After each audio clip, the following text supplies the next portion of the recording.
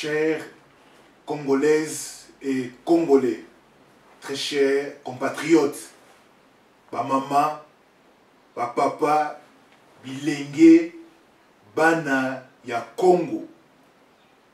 ngai moko wa bino ya generation revolte ba revolte ya Congo na ye liboso na bino lelo mpo na kopesa bino position ya mouvement na biso par rapport ya affaire jekoko bandeko na ngai toza biso nyonso tu temoin na oyo ezali koleka mikolo oyo tomoni ndenge ndeko na biso euh, parlementaire euh, provincial jekoko mulumba adesidaki a démissionner na, na parti na ye PPAD a démissionné na parlement provincial et puis alobi que azali euh, menacé de mort et abimi na mboka Congo pour na ko rejoindre bandeko oyo bazali na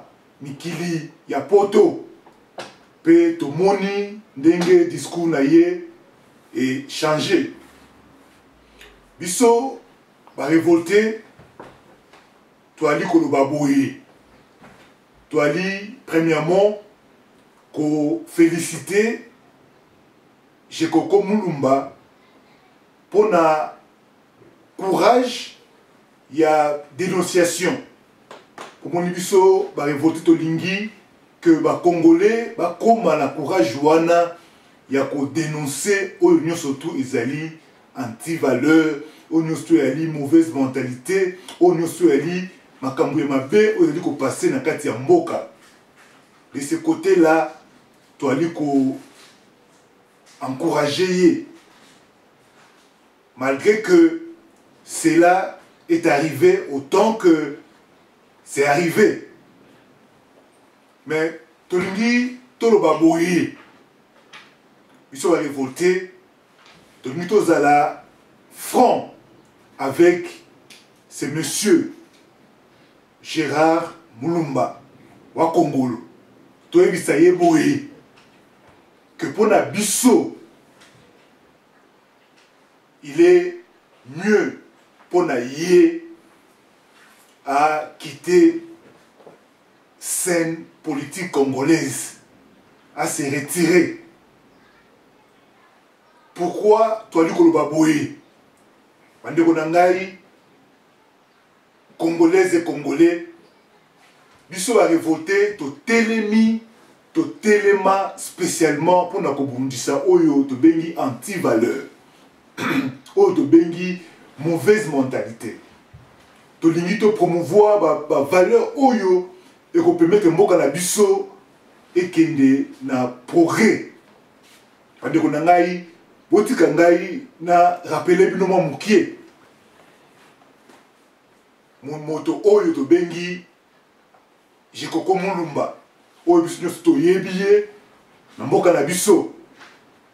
toyebaki ye lokola moto oyo azalaki mesene na musique congolaise et asali kombo na ye lokola ba congolais nyonso tu balingaka ko se faire important et akomaki bayembi ye na banzembo et ayebanaki ti ndenge aye kokota na politiki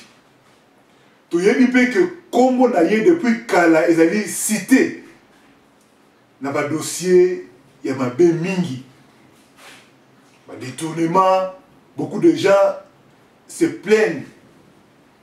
de lui et toyebi aussi que non lolenge nini ye jekoko mulumba na moninga na ye francis kalombo basangagea na politike ya congo toyebi biso nyonso tu tozalaki temoin na ndenge bakota baye wana bandeko na ngai tozolinga makambo ya congo tokoma très exigeant soki lelo makambo mingi ekoti na kati ya politike na biso baantivaleur mingi ekoti na kati ya politike na biso c'est notamment na arrivée ya bato lokola ba Jekoko, ba Francis Kalombo, bato mosusu na kati ya politiki ya Congo parce que bato mingi baya na kati ya politiki na Congo na esprit ya rue oyo ya coopération kino politiki ya mboka na biso ezali coop moto nyonso akoki koya azwa parti na ye ndenge bato oyo bakota toyebi aussi que non jekoko akomaki membre ya pprd depuis nayebi te exactement jour nini akotaki asangageaki wana na kati ya, ya parti wana me eloko toyebi amilita na kati ya parti wana e na 2006 azali mutu oyo azwaki uh, mandat na ye ya depute na kati ya parti wana na ndenge basalaki batie kimbuta na kati ya, ya, ya pouvoir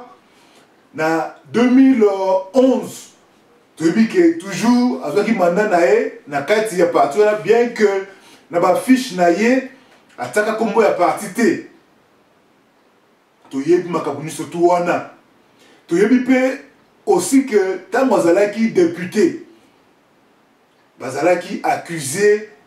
ya rançonnage ye na moninga na ye francis kalombo epai ya libanais moko boye na libete e dossier wana ekenda kaka boye baprotégea bango e toyebi lolenge nini bato wana bali kofonctionne na kati ya mboka na biso soki lelo biso barevolte tolobaka boye soki lelo meme kabila afandisi banti valeur na kati ya mboka wana et que atiki laisser aller c'est notamment parce que bato oyo bantouraki ye bato lokola bajekoko oyo nyonso mpe bayaki wana ce sont des gens qui sont partis en politique ils se sont engagés avec l'esprit ya kosala mbongo ya kosala cope et c'est comme ça que bango baévolue ba Donc, pour na biso, ezali ouf ya soulagement quand moto moko ya moralité douteuse alongwe na kati ya na politique na biso. Sincèrement, ezali encourageant parce que azui euh, honnêteté wana ya ko ya, lelo ya kobanda ko, ko dénoncer mais pona biso azali moto oyo ata liboso ata sikoyo a merite kosala politique na congo te biso barevolte tokozala beaucoup plus exigeant parce que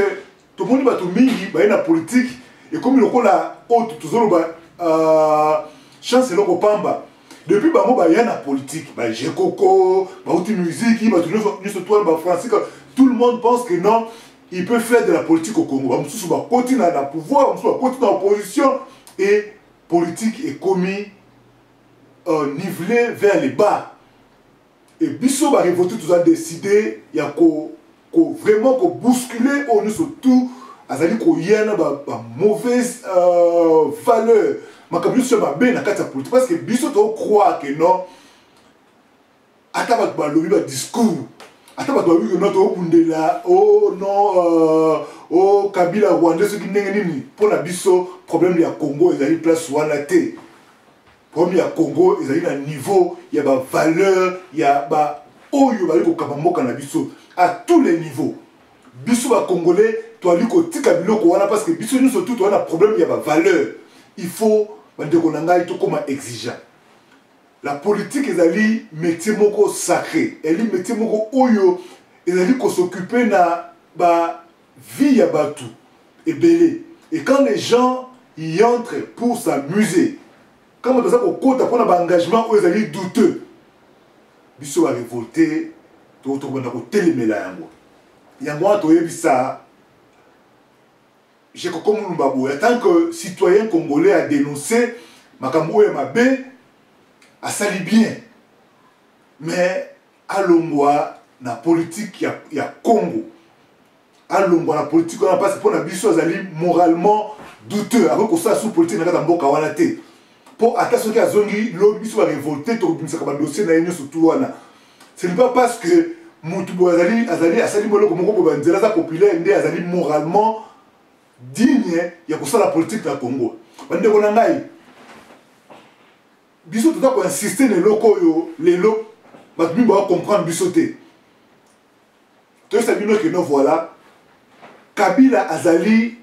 problème ya congo te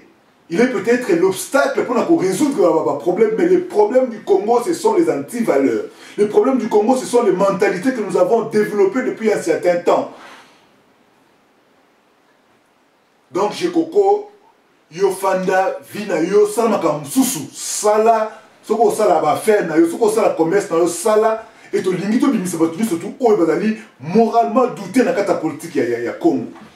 mpo na biso ozala oza mutu ya pprd ozala ozali mutu ya udps ozala ozali mutu je ne sais pas ya parti nini ya, ya oh, uh, union de la nation congolaise biso tozosenga na bapolitike na biso moralité ezala élevée tolingi bato ya qualité morale nde baya kosala politike na kati ya congo il faut totuna ndeko jekoko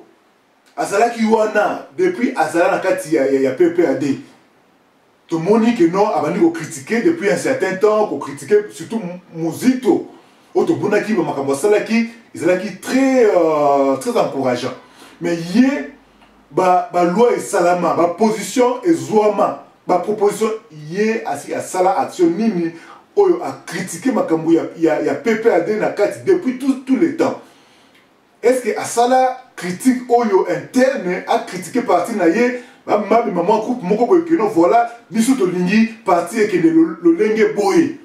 nanu tomona place jekoko aye te na proposition keno voilà biso tolingi pprd ekende lolenge boye tolingi motu boye na pprd alongwa tomona te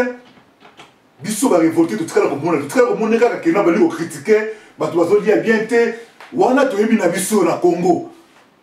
moto nyonso tu toyebi keno voilà corruption ezali makasi à tous les niveaux bato bazali kolia bien te et que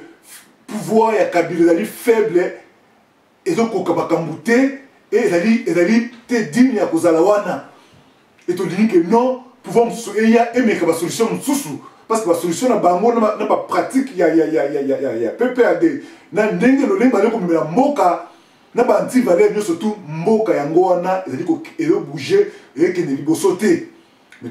tikala komona ndeko jekoko te aya abimisa ba, ba o oh no proposition moko boye même au sein ya, ya parti na ye bandeko na ngai Biso ba revolte toali ko linga que ba parti politique ya Congo d'abord ekoma mukie et que engagement ya ba politiciens na biso au sein ya ba, ba parti na bango ezala un engagement ferme bayeba eloko nini balingi tolingi kaka te kino voilà mutu asala baengagement moko ya, ya positionnement soki mai ekoma okende boye akei boye soki eloko ekoma okende boye akei boye en principe soki yo na parti na yo bokwei bokwei bino nyonso tu bokozela ti mokolo euh, makambo ekochange sikoyo ye jekoko alongwe na kati ya, ya pprd nani azali mabe entre pprd na engagement ya jekoko eloko nini yango ezali ezali euh, na problème tolingi te kino bato nyonso tu balongoka na baparti politike bakenda kocree makambo ebele baparti ezali kokóma ebele ebele e ezali une sorte ya désordre bandeko na ngai ezali une sorte ya désordre totya fin na makambo wana tolingi na kati ya baparti bacourant de pensée e se développe visiblement tomona bato bazali kotelemela position moko ya parti kino voilà biso tozali contre ça totikala komona je kokote ke non amema position moko boye apropose eloko moko boye ye aye abandi na bacritique c'est bien dénoncer c'est bien mais pourquoi tu t'es engagé na parti wana il faut sikoyo jekoko mulumba ayebisa biso mpo na nini asengageaki na parti wana et il est resté là tout ce temps et lelo mpo na nini il se désengage par rapport ya fonctionnement ya parti par rapport ya nini na ye parce que biloko mosusu azoloba wana biso mosusu toyebi yango ezali lelo te ebandi banda kala me ye azalaki kaka wana et il a profité de beaucoup de faveur ya régime wana toyebi toyebi qualité morale na ye yango wana biso koinsiste que non voilà il faut alongwa na politique ya, ya, ya congo ata ndenge aye wana oyo que non voilà arejoindre euh, groupe mosusu biso tolingi makambo wana te il faut to, to euh, purger to purifier euh, scène politique ya mboka na biso totia bato oyo bazali na bavaleur bandeko na ngai bozali komona soki lelo mboka na biso ezali toujours faible c'est aussi à cause ya ba engagement ya ba politiciens na biso bozomona ba mosusu balongwe dernièrement awa na, na pareco bakotaki kuna engagement résistance tout ça lelo balongwe bamosusu babi que no voilà apareco ezo fonctionner bien te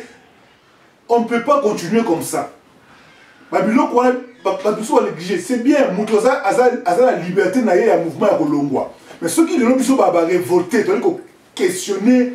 ba, en fait bamouvement euh, intempestive ya politique na biso c'est parce que ekomi un phénomène moko ezali koaffaiblir baparti eleki ebele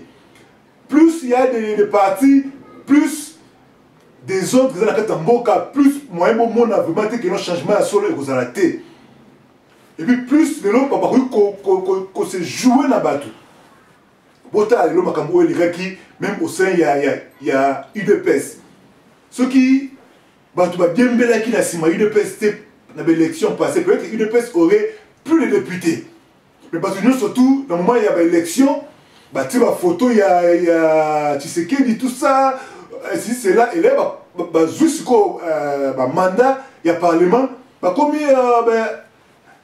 indépendant na ndenge na bango on peut pas avoir euh, baparti ebele baengagement ebele wana ekomi desordre biso barevolte tolingi kino ntango moto ozali kosengage na kati ya parti moko ya kati ya mouvement moko il faut yeba eloko nini ezali kuna eloko nini balingi et ntango ozali kolongwa il faut oloba clairement clairement eloko nini yo olongwe na kati wana par rapport à fonctionnement eloko nini yo omekaki kosala balandeli yo te eloko nini boye tolingi biloko wana ezala clair de manière ase ke tosurveille bamouvement ya baoyo nyonso tout baali balider d'opinion ezala uti na mouvement fofo toyeba parce que déjà même phénomène wana ezali na kati ya bamouvement meme oyo bazali euh, mouvement ya opposition oyo balobi keno bacombattant barésistant banani problème organisationnel ezali makasi bandeko na ngai problème ya engagement ezali makasi bino moko botala